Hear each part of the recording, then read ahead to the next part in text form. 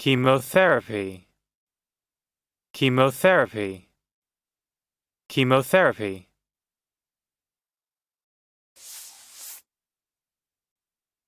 Noun. 1.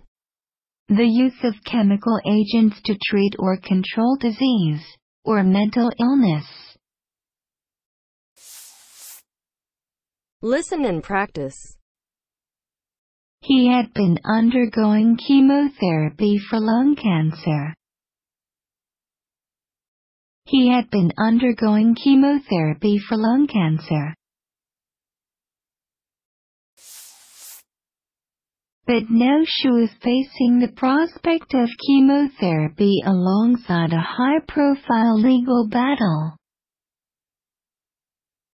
But now she was facing the prospect of chemotherapy alongside a high-profile legal battle.